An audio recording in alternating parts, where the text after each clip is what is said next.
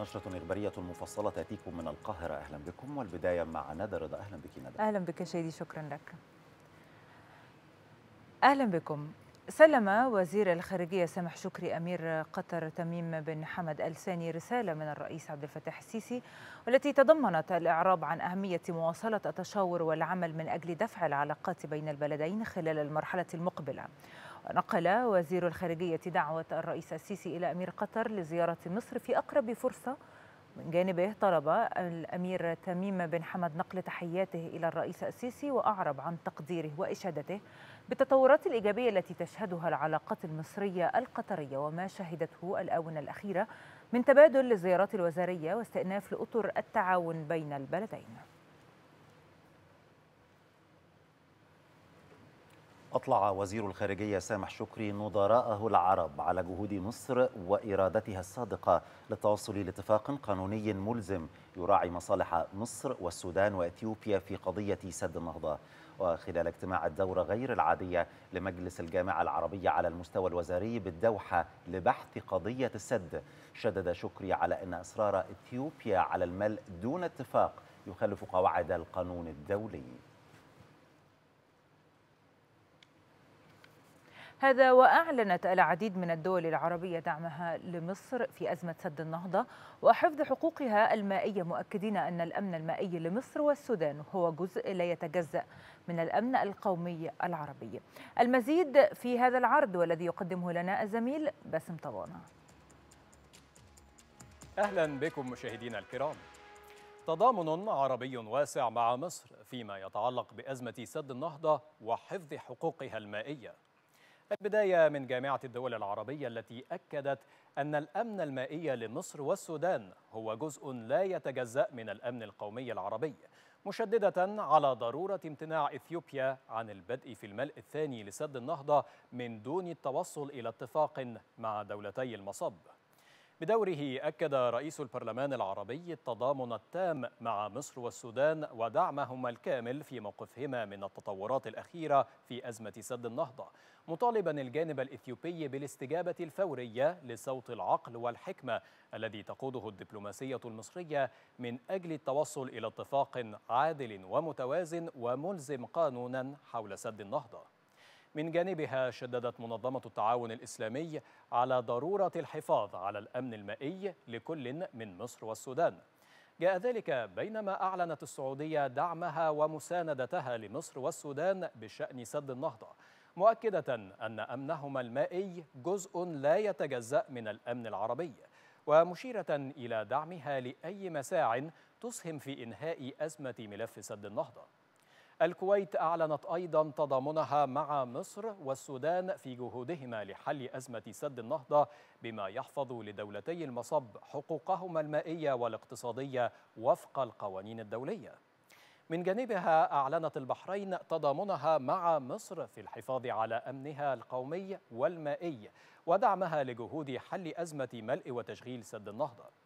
كما أكدت الأردن دعمها للموقف المصري في التوصل لاتفاق يحفظ حقوق مصر المائية وينهي الخلاف حول سد النهضة عبر حل تفاوضي وفقا للقانون الدولي مع التشديد على ضرورة عدم اتخاذ إجراءات أحادية قبل التوصل إلى اتفاق بما في ذلك بدء عملية ملء السد. كما أكدت تونس وقوفها إلى جانب مصر من أجل التوصل إلى حل تفاوضي عادل لملف سد النهضة بما يحفظ الحقوق التاريخية للشعب المصري في مياه النيل. هذا وأعلن العراق من جانبه دعم حقوق مصر والسودان في مياه نهر النيل مؤيدا جهودهما في التوصل إلى اتفاق نهائي لقسمة عادلة تضمن حقوقهما. أيضا أكدت الإمارات اهتمامها البالغ وحرصها الشديد على استمرار الحوار الدبلوماسي والمفاوضات لتجاوز أي خلافات حول سد النهضة وأكدت أهمية العمل من خلال القوانين والمعايير الدولية. بدورها أكدت سلطنة عمان تضامنها مع مصر وتأييدها في جهودها لحل الخلاف حول سد النهضة عبر الحوار والتفاوض بما يحقق الاستقرار للمنطقة ويحفظ مصالح الأطراف جميعاً. كما أعلنت الحكومة اليمنية تضامنها ووقوفها مع مصر لإيجاد حل عادل لملف سد النهضة ودعم جهودها لتحقيق السلم والاستقرار الإقليمي. مشاهدينا الكرام كان هذا عرضا لأبرز المواقف العربية الداعمة لمصر والسودان في قضية سد النهضة. شكرا لحضراتكم على طيب المتابعة. ارتفع مستوى التنسيق الدبلوماسي بين مصر والسودان لشرح التطورات المتعلقة بسد النهضة في عدد من العواصم الإفريقية والعربية المختارة من قبل الجانبين. الأمر الذي بعث برسائل هامة للمجتمع الدولي حول مخاطر بقاء هذه القضية دون حل. في ظل مخاطر جمة تهدد الأمن والسلم في المنطقة بسبب جمود قضية سد النهضة اتخذت مصر والسودان إجراءات مشتركة لمواجهة سياسة الأمر الواقع التي تحاول إثيوبيا فرضها. وفي آخر جولات المشاورات بين مصر والسودان التي أقيمت بمشاركة خبراء فنيين وقانونيين من الجانبين اتفق الطرفان على المخاطر الجدية والآثار الوخيمة المترتبة على الملء الأحادي لسد النهضة. وأكد على أهمية دفع إثيوبيا على التفاوض بجدية وبحسن نية وبإرادة سياسية حقيقية من أجل التوصل لاتفاق شامل وعادل وملزم قانونا حول ملء وتشغيل سد النهضة بعد أن وصلت المفاوضات التي يرعاها الاتحاد الأفريقي إلى طريق مسدود بسبب التعنت الإثيوبي. ومن هذا المنطلق ارتفع مستوى التنسيق الدبلوماسي بين مصر والسودان لشرح التطورات المتعلقة بسد النهضة في عدد من العواصم الأفريقية والعربية المختارة من قبل الجانبين. الأمر الذي بعث برسائل مهمة للمجتمع الدولي حول مخاطر بقاء هذه القضية بلا حل خاصة بعدما دعمت مصر المقترح السوداني بتوسيع مظلة الوساطة لتشمل الأمم المتحدة والاتحاد الأوروبي والولايات المتحدة لتجنب إطالة أمد المفاوضات. ومؤخرا أرسلت الخارجية المصرية خطابا إلى مجلس الأمن التابع للأمم المتحدة باعتباره الجهة المسؤولة عن حفظ السلم والأمن الدوليين لتسجيل اعتراض مصر على ما أعلنته إثيوبيا حول نيتها الاستمرار في ملء سد النهضة خلال موسم الفيضان المقبل والإعراب عن رفض مصر التام للنهج الإثيوبي. كما أكدت الخارجية السودانية من جانبها أن موقفها تجاه سد النهضة يحظى بدعم وطني واسع من كافة الأطياف السياسية والشعبية. وإجمالا ركزت التحركات المصرية والسودانية على إظهار حقيقة المواقف الإثيوبية التي أفشلت المساعي المبذولة على مدار الأشهر الماضية من أجل التوصل لاتفاق عادل ومتوازن وملزم قانونا حول سد النهضة وفي إطار رعاية الاتحاد الإفريقي. شارك وزير الخارجية سامح شكري في الاجتماع التشاوري لوزراء الخارجية العرب. وأكد وزير الخارجية على موقف مصر الداعم للحلول السياسية لكافة القضايا العربية. وحرص القاهرة على الدفع قدما بكافة أطر التنسيق والتشاور في إطار جامعة الدول العربية لما فيه صالح الشعوب العربية جميعها.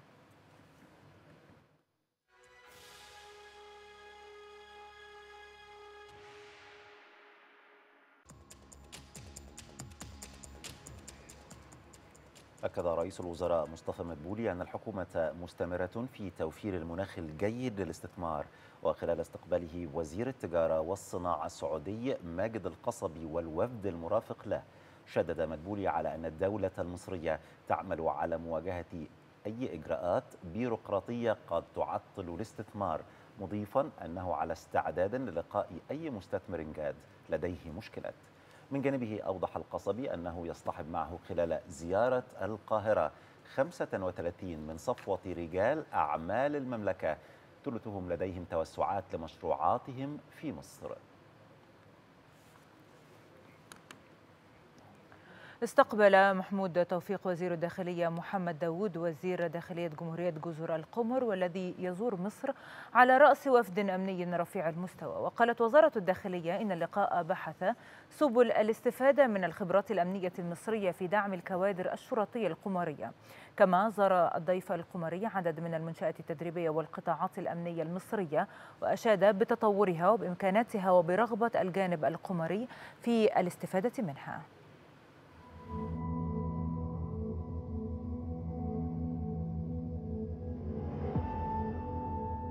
في إطار التعاون الأمني بين مصر وأشقائها الأفارقة فقد استقبل السيد محمود توفيق وزير الداخلية السيد محمد داوود وزير داخلية جمهورية القمر المتحدة الذي يزور مصر على رأس وفد أمني رفيع المستوى.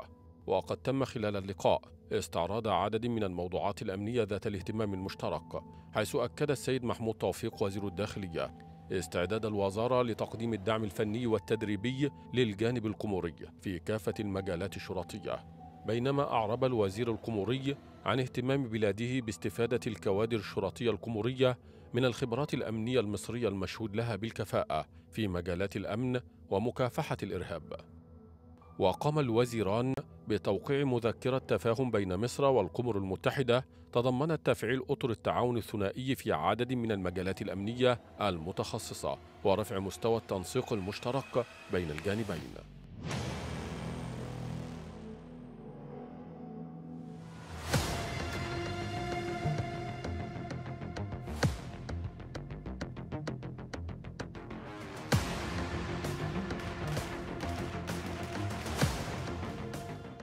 وقد قام وزير داخلية جمهورية القمر المتحدة بزيارة لأكاديمية الشرطة. استقبله خلالها قيادات الأكاديمية واطلع على منشآتها وكياناتها التدريبية والتعليمية المختلفة بخاصة مركز التدريب الأمني الدولي بمركز بحوث الشرطة والذي يطلع بعقد دورات تدريبية للكوادر الأمنية الإفريقية.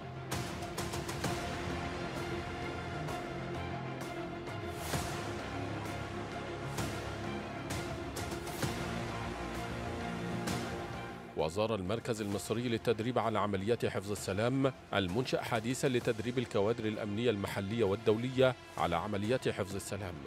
كما شاهد جانبا من التدريبات العملية لطلبة كلية الشرطة على المهام الأمنية المتنوعة.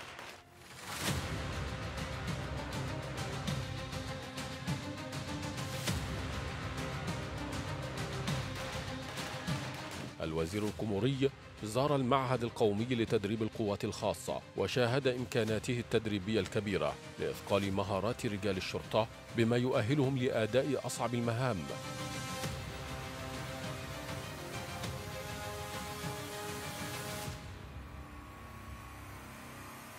تضمن برنامج زيارة وزير داخلية جمهورية القمر المتحدة قطاع الأمن العام.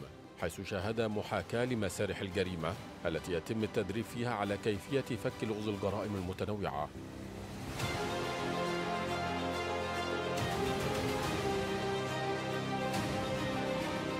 وفي ختام الزيارة أهدت وزارة الداخلية المصرية إلى وزارة داخلية جمهورية القمر المتحدة كمية من المساعدات التي تسهم في دعم الأجهزة الأمنية في جمهورية القمر المتحدة لأداء المهام الأمنية بها.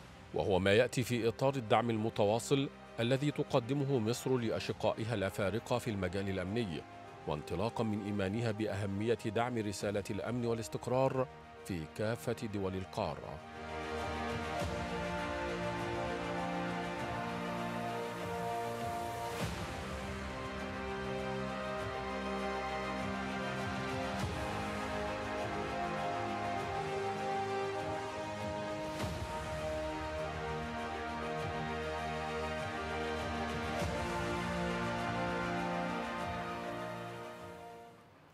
أعلنت وزيرة الصحة هالة زايد أن مصر ستستقبل خلال أيام نحو مليون وتسعمائة ألف جرعة من لقاح فيروس كورونا أسترازينيكا من مرفق كوفاكس خلال الأيام المقبلة ضمن الربع الأول للاتفاقية. بذلك خلال لقائها في جنيف أوريليا نيجوان المدير العام لمرفق الكوفاكس التابع للتحالف الدولي للقاحات والأمصال جافي. وأوضح خالد مجاهد مساعد وزيرة الصحة للإعلام والتوعية والمتحدث الرسمي للوزارة أن الوزيرة أكدت خلال اللقاء استعداد مصر للتعاون مع كوفاكس ومختلف المصنعين لإنتاج اللقاحات من خلال المصانع المصرية.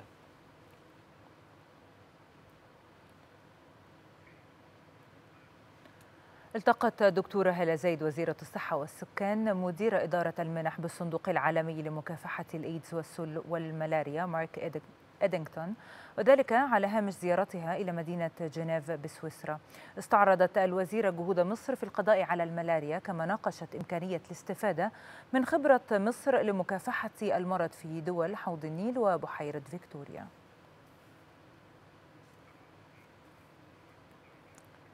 بحث وزير الخارجية سامح شكري مع وزيرة الخارجية والتعاون الدولي الليبية نجلاء المنقوش خلال مشاركتهما في الاجتماع التشاوري العربي في الدوحة التطورات على الساحة الليبية. وقالت وزارة الخارجية إن شكري والمنقوش اتفقا على أهمية الدفع قدما بالخطوات والإجراءات المتفق عليها في إطار العملية السياسية ومنها إجراء الانتخابات قبل نهاية العام.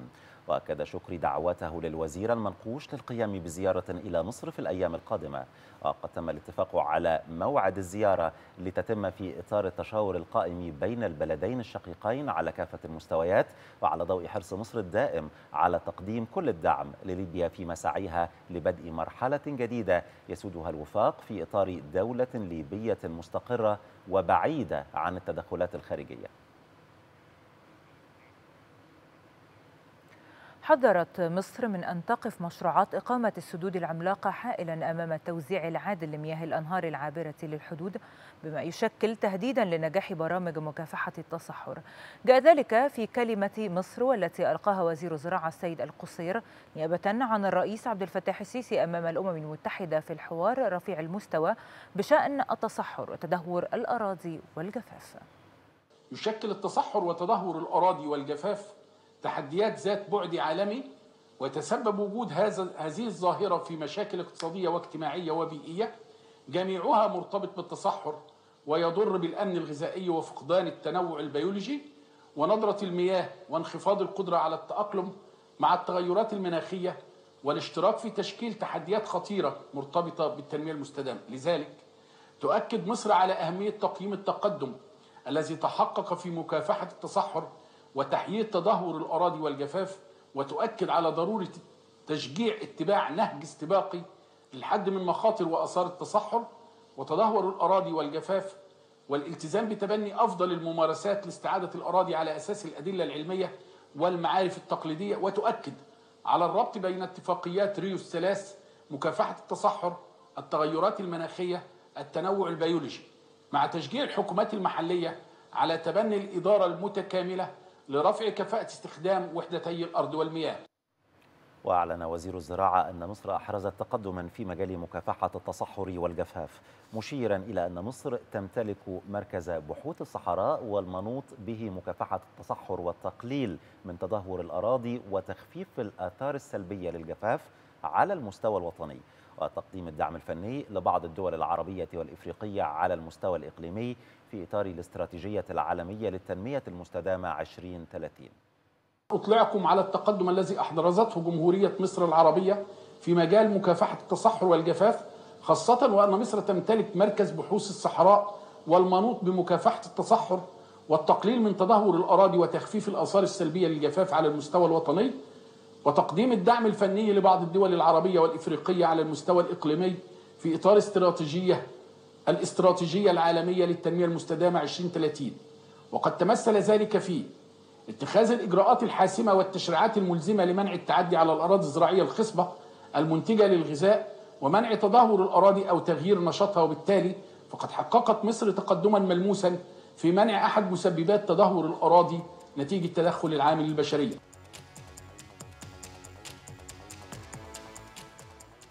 أكدت دكتورة مايا مرسي رئيسة المجلس القومي للمرأة إن المرأة المصرية تعيش عصرها الذهبي في ظل وجود قيادة سياسية تهتم اهتماما كبيرا بقضايا المرأة وأصولها لحقها الدستوري. مشيرة إلى القرار التاريخي للرئيس عبد الفتاح السيسي والخاص بتعيين عناصر نسائية في مجلس الدولة والنيابة العامة بعد 72 عاما من النضال لتصل المرأة إلى مجلس الدولة والنيابة العامة. جاء ذلك خلال افتتاحها التدريب التفاعلي لمديرات النيابة بهيئة النيابة الإدارية حول مهارات وفنون التواصل والقيادة ومناهضة العنف ضد المرأة وذلك بحضور المستشار عصام المنشاوي رئيس هيئة النيابة الإدارية. من جانبه أشاد المستشار عصام المنشاوي بدور عضوات النيابة الإدارية التي يشكلن ما يقرب من نصف عدد أعضائها إجمالا وهو ما تنفرد به النيابة الإدارية كهيئة قضائية مصرية عريقة. هذه الدورة المقصود منها هو رفع كفاءة الإدارة بالنسبة للسادة مديرات النيابة الذين عينا في الفترة الأخيرة. ويأتي هذا الدور إيمانا واعتقادا منا بأنه يتعين أن تتبوأ المرأة مكانتها وفقا للاستحقاق الدستوري. وفي الحقيقة تم اختيار آه، هؤل- هؤلاء الزميلات لكفاءتهن في العمل. والحقيقة هم أثبتنا في الفترة الماضية كفاءة في العمل وجدارة لاعتلاء هذا المنصب. ووصول المرأة لمجلس الدولة والنيابة العامة. النهاردة أنا سعيدة جدا بالتواجد أيضا مع مديري مديرات أو المستشارات لم- لمكاتب النيابة الإدارية. النيابة الإدارية من الهيئات القضائية اللي فيها عدد كبير جدا من من المستشارات ال- القاضيات. وصلوا تقريبا ل 48% وكنا بنتكلم يعني إمتى؟ فين ال 2% ال- ال- الفاضلين في هذا هذه النسبة؟ هتبقى جهة قضائية فيها مساواة آه، كاملة آه، للمرأة. آه، وطبعا يعني ما فيش أي حاجة تصف السعادة البالغة. 72 سنة آه، سيدات فضليات حربوا على الدخول في مجلس الدولة والنيابة العامة. 72 سنة آه، يعني أجيال وأجيال قبلنا.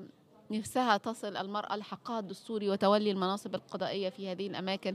في عصر ذهبي آه، يعني مكن المرأة آه، وصل آه، وصل بها لمراتب كبيرة جدا. عصر السيد الرئيس عبد الفتاح السيسي. هي خطوة يعني نعتبر نقول عليها إعجاز مش إنجاز. حقيقي بجد يعني أي امرأة حاسة إن هي فعلا تفخر إن هي موجودة في العصر دون وإن الرئيس عبد الفتاح السيسي إن هو فعلا إدانا الدعم وإدانا القوة ود- وحسسنا إن هو ظهرنا وسندنا.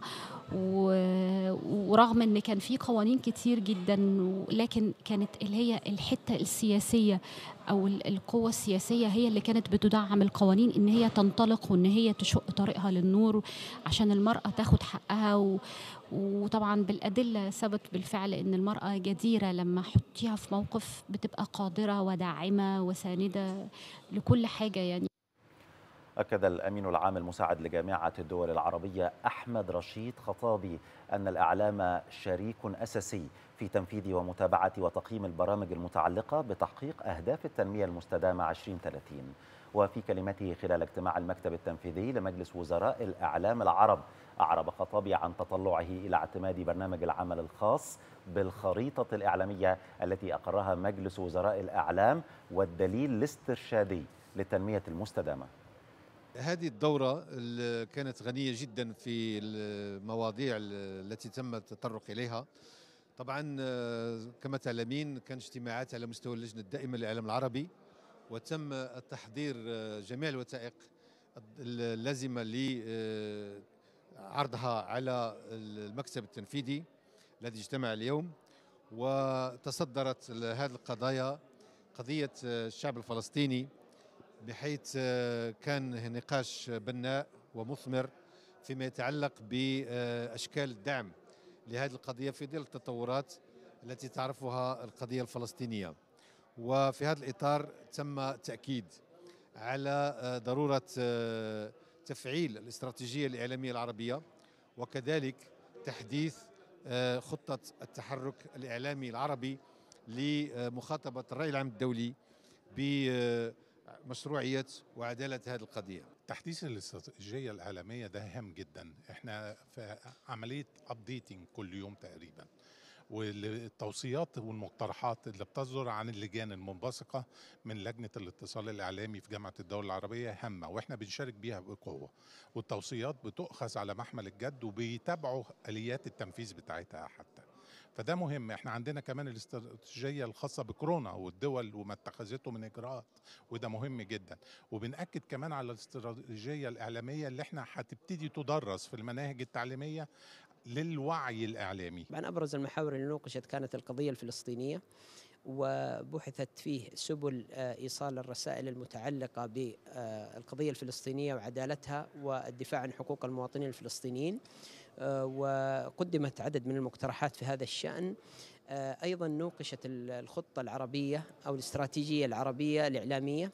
وهذه الاستراتيجية حقيقة نوقش بعد تحديثها في ظل المستجدات سواء في, مع... في هي طبعا الاستراتيجية لها عدة محاور تم بحث آليات تحديثها في جميع المحاور في ظل المستجدات مثل جائحة كورونا مثل مستجدات القضية الفلسطينية والتحديات اللي يواجهها العالم العربي بشكل عام. خرجنا بتوصيات مهمة جدا كانت أولها وقبلتها هي القضية الفلسطينية الحاضرة في ضمائرنا وفي أرواحنا وفي دولنا جميعا.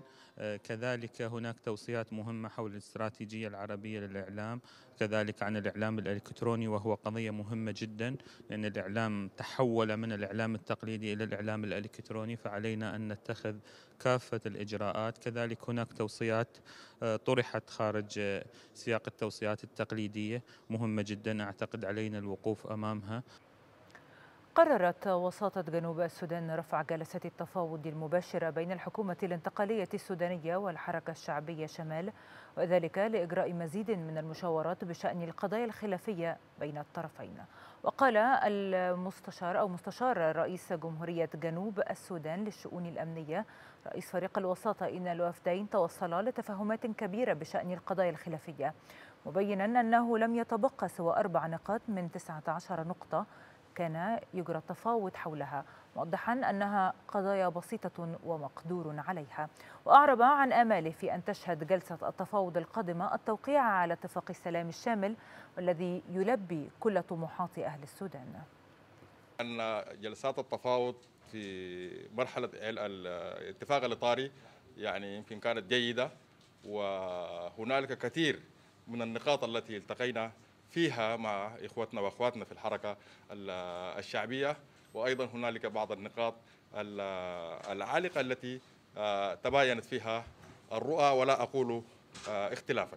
أهم ما ساد هذه الجولة هو الروح الإيجابية والإرادة والعزيمة المتبادلة لكلا الطرفين من أبناء السودان مما يعزز الثقة ويبعث في الأمل في الوصول لاتفاق سلام شامل وعادل ينتظر شعبنا في السودان إن شاء الله. إحنا نؤكد لشعبنا ولكل المتابعين أننا بنفس الإرادة وبنفس القوة وبنفس الرغبة إن شاء الله سنعود متى ما تهيأت الظروف الملائمة لاستكمال ما تبقى من نقاط عالقة مع إخوتنا في الحركة الشعبية. قالت رئاسة الجمهورية اللبنانية إن الزخم المصطنع الذي يفتعله البعض في مقاربة ملف تشكيل الحكومة لا أفق له إذا لم يسلك الممر الوحيد المنصوص في الدستور. وأضافت الرئاسة اللبنانية أن ثمة معطيات برزت خلال الأيام الماضية تجاوزت القواعد الدستورية والأصول المعمول بها.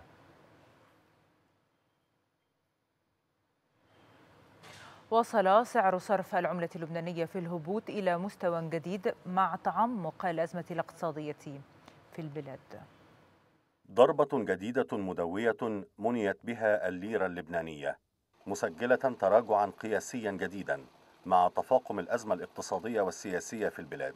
وفقدت العملة اللبنانية أكثر من 90% من قيمتها منذ أكتوبر عام 2019 فيما ارتفعت نسب التضخم وأسعار السلع في البلد الذي يستورد أكثر من 80% من السلع الأساسية ولوضع ضوابط على رأس المال أعلن البنك المركزي اللبناني أنه سيسمح للمودعين بسحب كميات محدودة من حسابات مدخراتهم بالعملة الصعبة كل شهر غير أن المودعين لا يمكنهم القيام بعمليات السحب تلك إلا من خلال منصة خاصة أنشأها البنك المركزي. هذه المنصة سيتم استخدامها بكل بساطة لتحرير سعر صرف الليرة. اليوم السوق السوداء هي سوق منا شرعية سوق مخالفة وبعد أكثر من هيك سوق لا يوجد عليها إلا المخالفين للقوانين اللي ببيضوا أموال يلي بدهم يهربوا لبرا وما بدهم حدا يلحقهم. شو عم يعملوا بال بالدولارات؟ وبحسب خبراء الاقتصاد فإن البنك الدولي سيصر على استمرار فرض تلك المنصة على لبنان حتى لو فشلت لأنها الوسيلة الوحيدة لتحرير سعر الصرف. هذه المنصة حتى لو ما نجحت بكرة صندوق النقد رح يفرضها على لبنان لأنه هي الطريقة الوحيدة لحتى نحرر سعر صرف الدولار. الحكومة اليوم إذا كانت أو الأجهزة الأمنية أو المسؤولين إذا كانوا بدهم يعملوا شيء جيد بحاربوا السوق السوداء. بس ما عندهم هالرغبة وهذا الأمر واضح. كان البنك الدولي أعلن في وقت سابق من الشهر الجاري أن أزمة لبنان الاقتصادية والمالية تصنف على الأرجح كواحدة من أسوأ الأزمات التي شهدها العالم خلال ما يزيد على 150 عاماً. أعلن ملك الأردن عبد الله الثاني أنه وجه الحكومة لوضع برنامج عمل اقتصادي واضح المعالم خلال أسابيع مرتبط بمدد زمنية محددة لتنفيذه. وخلال لقائه رئيس وأعضاء اللجنة الملكية لتحديث المنظومة السياسية شدد ملك الأردن على ضرورة أن يتزامن المسار السياسي مع مسار آخر اقتصادي.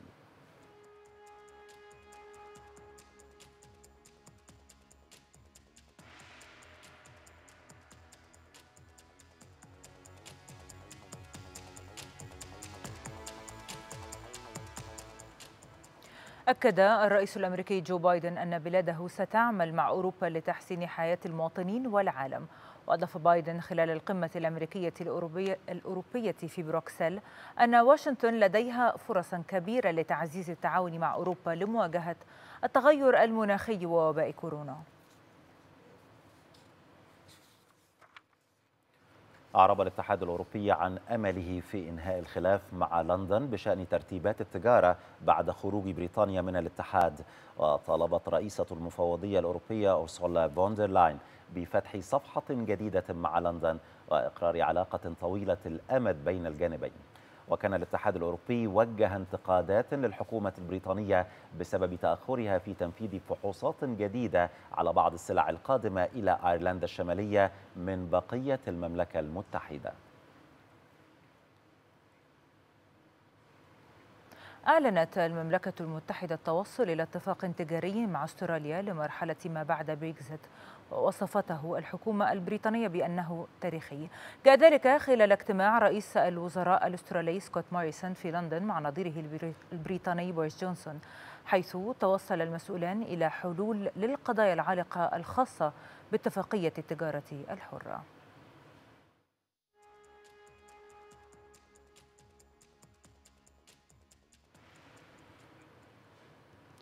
للمزيد من المتابعة والنقاش في سياق هذا الموضوع. ينضم إلينا عبر الهاتف من لندن السيد كايد عمر المحلل السياسي. سيد كايد في البداية برحب بحضرتك على شاشة اكسترا نيوز إلى هذه الجولة الإخبارية. دعني أبدأ معك قبل التصريحات التي خرجت من الاتحاد الأوروبي بهذا الاتفاق التاريخي بين أستراليا وبريطانيا ماذا من الممكن أن يضيف لبريطانيا هذا الاتفاق فيما بعد البريكزيت؟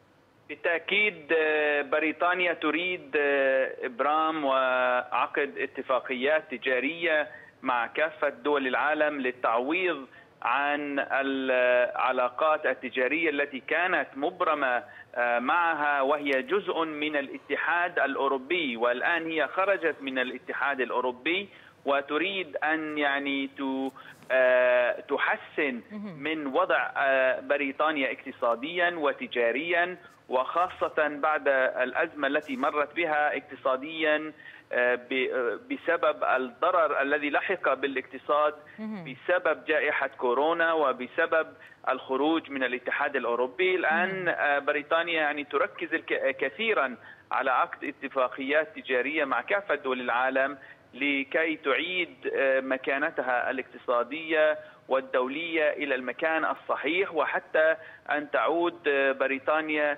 كدولة قوية ودولة عظمى في هذا العالم. طيب سيد كايد فيما يتعلق بعلاقة بريطانيا مع الاتحاد الأوروبي يمكن الاتحاد الأوروبي أظهر مرونة نوعا ما خاصة وأكيد حضرتك كنت تابعت ما خرج من تصريحات من السيد بوريس جونسون متعلق بتطبيق البند 16 المتعلق بأيرلندا الشمالية إذا لم يظهر الجانب الأوروبي أو الاتحاد الأوروبي نوعا من أنواع المرونة في التعامل مع بريطانيا. الآن الاتحاد الأوروبي أظهر مرونة في التعامل مع بريطانيا برغبة لإنهاء الخلافات برأيك إلى أين يسير المشهد بشكل أو بآخر؟ بالفترة الأخيرة وفي الأيام الماضية وخلال اجتماعات الدول الاقتصادية التجارية السبعة والذي يعني عقدت في بريطانيا كان هناك الكثير من المحادثات مع بعض دول الاتحاد الأوروبي والمفوضية الأوروبية وبالتعاون والتشاور مع الولايات المتحدة الأمريكية ودول أخرى. وتم الحديث في موضوع إيرلندا الشمالية بحيث أن بريطانيا ترى أن إيرلندا الشمالية هي جزء من بريطانيا وتريد المحافظة على وحدة الجغرافيا ووحدة المملكة المتحدة. وطبعا أوروبا يعني كانت تؤكد على أيضا يعني التزام بريطانيا بالاتفاق التجاري مع الاتحاد الأوروبي والتخوفات التي يعني والنصائح التي أدلى بها الرئيس الأمريكي جو بايدن بخصوص المحافظة على اتفاقية السلام الجمعة العظيمة نعم. في إيرلندا الشمالية وابقاء الحدود مفتوحة ما بين إيرلندا الشمالية وجمهورية إيرلندا مم. وعدم يعني وجود طيب سيد كيد هل هل يعني هل تعد تصريحات الجانب الأوروبي أو الاتحاد الأوروبي في التعبير عن آماله لإنهاء الخلافات مع لندن بشأن الترتيبات المتعلقة بالتجاره التجارة فيما بعد البريكزيت هل نستطيع القول هنا أن الجانب الأوروبي يبدي نوع من أنواع المرونة وأن المشهد بين بريطانيا والاتحاد الأوروبي سوف يشهد متغيرات في الفترة المقبلة؟ بالتأكيد يعني الحديث كان يعني حول التزام أو يعني ارتباط إيرلندا الشمالية بالمعايير والقوانين الأوروبية وتقبل من بريطانيا لهذه المعايير في هذه المنطقة بالذات. وهناك يعني كان يعني تقارب في وجهات النظر ولكن طبعا كان هناك أيضا شروط معينة للتمكن من إبرام اتفاقية مع أستراليا ودول أخرى بحيث أن بريطانيا يجب أن تكون خارجة تماما من الاتفاقية مع نعم. الاتحاد الأوروبي حتى تتمكن من إبرام اتفاقية تجارية مع أستراليا وهناك كان يعني حل وسط أو إنه حلول خلاقة للتمكن من الحصول على اتفاقية تجارية بالإضافة إلى إرضاء الاتحاد الأوروبي بخصوص إيرلندا الشمالية ووضعها الحالي. خاصة وأن هذه الاتفاقية تحديدا أتحدث هنا عن اتفاقية بريطانيا مع أستراليا ليست اتفاقية تابعة لاتفاقات أخرى أو فيها نوع من أنواع التكيف لأي اتفاقيات أخرى، على كل حال السيد كايد عمر المحلل السياسي أنا بشكر حضرتك جزيل الشكر. كنت معنا مباشرة من لندن. استبعد الكرملين إبرام اتفاقات في اللقاء المرتقب غدا بين الرئيسين الروسي فلاديمير بوتين والأمريكي جو بايدن في جنيف. ولكنه قال إن المحادثات بينهما ستكون مفيدة. وقال مستشار بالكرملين إنه من المقرر أن يناقش بوتين وبايدن قضايا الاستقرار النووي وتغير المناخ والأمن الإلكتروني ومصير مواطنين أمريكيين وروس مسجونين لدى كل من البلدين.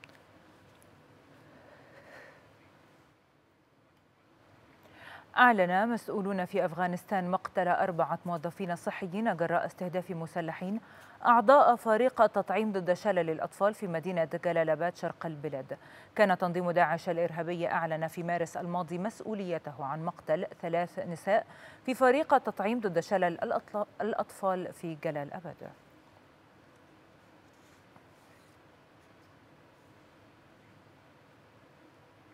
أعلنت الأمم المتحدة أنها تستعد لنزوح مزيد من المدنيين في أفغانستان بعد انسحاب القوات الأمريكية والدولية في سبتمبر المقبل. وحذرت المنظمة الأممية من تنامي العنف هناك بعد انسحاب القوات الدولية. هجمات متصاعدة في أفغانستان زادت حدتها مع بدء انسحاب القوات الأجنبية من البلاد وتباطؤ جهود الوساطة للتوصل إلى تسوية سلمية بين الحكومة الأفغانية وحركة طالبان. الأمم المتحدة قالت إنها تستعد لاحتمال نزوح مزيد من المدنيين في أفغانستان بعد انسحاب القوات الأمريكية والدولية في سبتمبر المقبل. وتشير المنظمة الدولية إلى أن هناك نحو 2.5 مليون لاجئ أفغاني مسجلين في أنحاء العالم. في حين يوجد 4.8 من عشرة مليون نازح داخل البلاد. كشف تقرير مكتب الأمم المتحدة في أفغانستان عن ارتفاع نسبة الخسائر البشرية خلال الربع الأول من العام الجاري بنحو 29% مقارنة بالفترة نفسها من العام 2020 وشدد التقرير على مسؤولية حركة طالبان عن نسبة 43.5% من الضحايا. جاء ذلك فيما توقع برنامج الأمم المتحدة الإنمائي في أفغانستان ارتفاع معدلات الفقر في البلاد بنسبة 70% وقد يصل عدد الأشخاص الذين يحتاجون إلى مساعدات إنسانية إلى 18 مليونا بحلول نهاية العام الجاري. وبدأت الولايات المتحدة بعد 20 عاما سحب قواتها المتبقية من أفغانستان وعددها 2500 وتستهدف الانسحاب تماما بحلول الحادي عشر من سبتمبر. كما يعتزم نحو سبعة آلاف من القوات غير الأمريكية وتتألف في معظمها من دول حلف شمال الأطلسي المغادرة بحلول الموعد نفسه. في تلك الأثناء قال مفوض الأمم المتحدة السامي لشؤون اللاجئين إن هناك ثمة حاجة لدعم دولي قوي لمحادثات السلام بين الحكومة الأفغانية وطالبان مشيرا إلى ضرورة أن يحل العمل السياسي محل الصراع. وتقول الحكومة الأفغانية إن الاشتباكات زادت مع طالبان في ظل مضي الولايات المتحدة قدما في عملية سحب جميع قواتها المتبقية كما تجمدت إلى حد كبير المحادثات السياسية بين الطرفين. أشاد سلطان عمان هيثم بن طارق بالجهود المبذولة في التعامل مع جائحة كورونا. وخلال ترأسه اجتماع مجلس الوزراء قدم سلطان عمان شكره للعاملين في القطاع الصحي على ما يبذلونه من جهود مقدرة في هذا المجال مؤكدا على أهمية استمرار تلك الجهود في حملة التطعيم. وأكد أيضا على ضرورة توعية المواطنين والمقيمين بأهمية الالتزام بكافة الإجراءات الصادرة من الجهات المعنية بهذا الخصوص لافتا إلى أن ملف تشغيل المواطنين الباحثين عن عمل يعتبر أولوية وطنية قصوى ويأتي في أعلى سلم أولويات عمل الحكومة.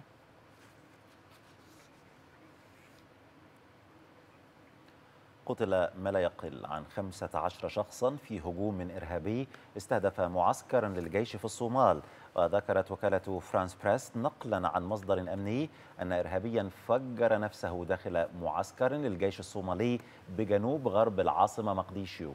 جاء هذا الهجوم بعد يوم من إعلان الجيش عن مقتل خمسين عنصرا من حركة الشباب الإرهابية في عمليات نفذها في الأجزاء الجنوبية والوسطى من البلاد.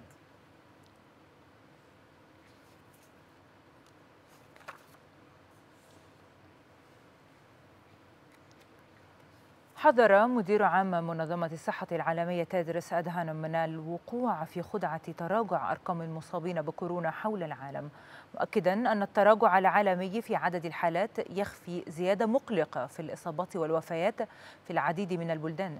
أضاف أدهانم أن الزيادة الحادة في إفريقيا تثير القلق بشكل خاص لأنها المنطقة الأقل وصولا إلى اللقاحات والتشخيصات والأكسجين. وأفادت منظمة الصحة العالمية أن متغيرات الفيروس الجديدة تتمتع بمعدلات انتقال عالية بشكل كبير على مستوى العالم.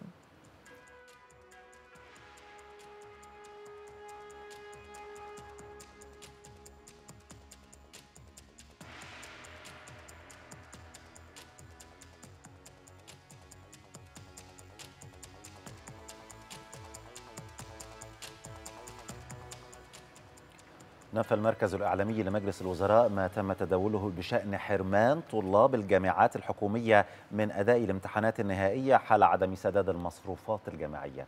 أقل المركز نقلا عن وزارة التعليم العالي أحقية كافة طلاب الجامعات في دخول الامتحانات حيث أن عملية أداء الامتحانات غير مرتبطة بدفع المصروفات الجامعية. مشيرة إلى قيام عدد من الجامعات الحكومية بتخصيص ميزانية لمكاتب رعاية الشباب التابعة لها لسداد المصروفات عن الطلاب المتعثرين سواء كانت مصروفات دراسية أو رسوم مدن جامعية بشرط استيفاء الأوراق المطلوبة.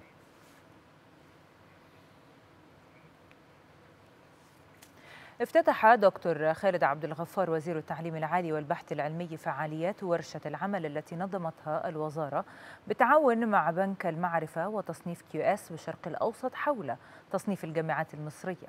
الاحتفال بتكريم الجامعات المدرجة بالتصنيف لعام 2022 أوضح وزير التعليم العالي أنه تم وضع خارطة طريق تستهدف رفع تصنيف العديد من الجامعات المصرية خلال الفترة القادمة. مشددا على أهمية وضع الجامعات المصرية لخريطة واضحة بحيث لا يقتصر الأمر على الإحصائيات والأرقام بل يمتد إلى خطط مستقبلية واضحة ومحددة.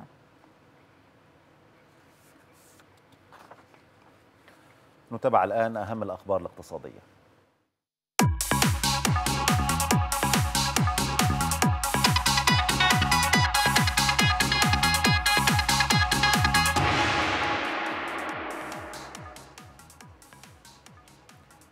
أعلن وزير الإسكان عاصم الجزار إعفاء 90% من غرامات التأخير حال سداد كامل المستحقات المتأخرة للوحدات السكنية والإدارية والمهنية والمحال وقطع الأراضي بأنواعها والفيلات والوحدات الشاطئية بالمدن الجديدة. جاء ذلك خلال اجتماع مجلس إدارة هيئة المجتمعات العمرانية الجديدة برئاسة وزير الإسكان. وأوضح مسؤول بهيئة المجتمعات العمرانية الجديدة أنه يتم تطبيق التيسيرات في الحالات الساري تخصيصها والحالات التي صدر لها قرارات بالإلغاء لعدم سداد المستحقات المالية وما زالت في حوزة العميل ولم يتم تخصيصها للغير.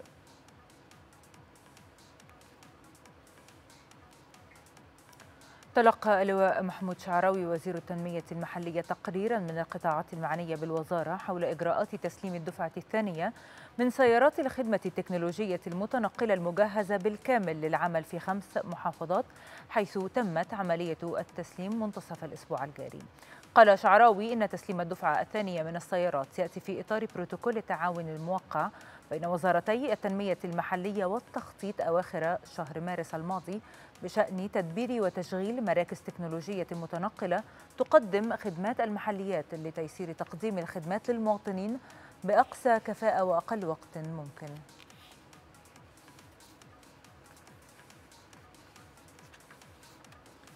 ناقش وزير الكهرباء محمد شاكر مع وزيرة التجارة والطاقة البريطانية تحضيرات مؤتمر المناخ القادم في نوفمبر القادم. كما استعرض شاكر مع المسؤولة البريطانية مستقبل التعاون بين البلدين والمساهمة في مشروعات قطاع الكهرباء التي تتمثل في مشروعات الطاقة الجديدة. وأشاد وزير الكهرباء بالتعاون القائم مع الشركات البريطانية موضحا أنها شريك موثوق به ولها دور كبير في المساهمة في مشروعات قطاع الكهرباء.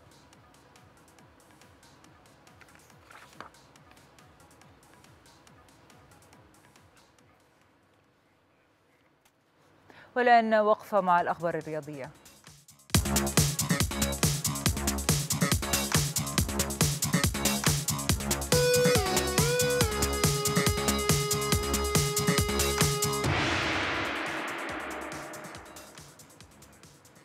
وافقت السلطات التونسية على حضور الجماهير مباراة الأهلي والترجي التونسية على ملعب رادس بذهاب نصف نهائي دوري الأبطال يوم السبت المقبل.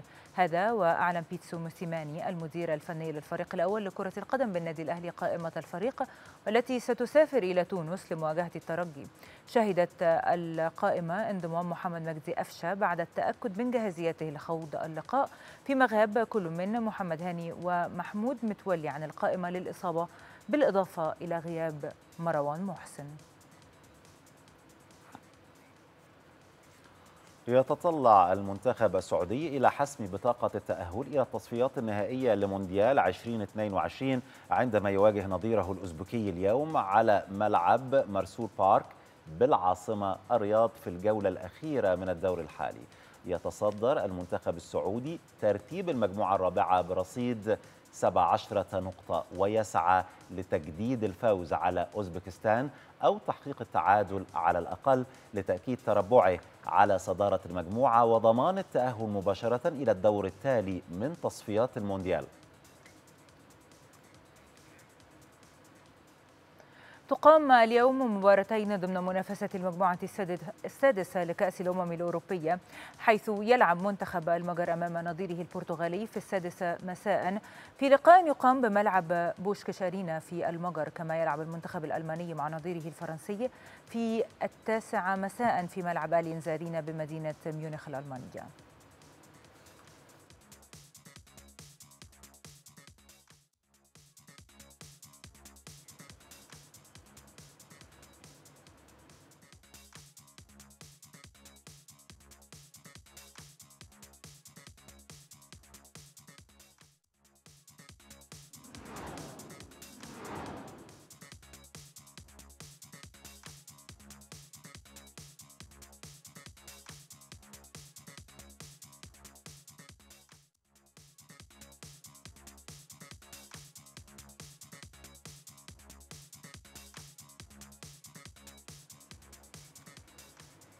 طمن كريستيان أريكسن لاعب منتخب الدنمارك ونادي إنتر ميلان الإيطالي متابعيه وجمهوره بشأن حالته الصحية عبر رسالة نشرها على حسابه على إنستغرام مصحوبة بصورة من المستشفى. وتعتبر الصورة هي الظهور الأول لأريكسن منذ سقوطه خلال مباراة الدنمارك وفنلندا السبت الماضي. في كأس الأمم الأوروبية 2020 وعانى أريكسن من سكتة قلبية خلال المباراة وتم علاجه من قبل المسعفين الذين أجروا الإنعاش الطبي القلبي الرئوي. واستخدموا مزيل الرجفان لمساعدة أريكسن في إنعاشه.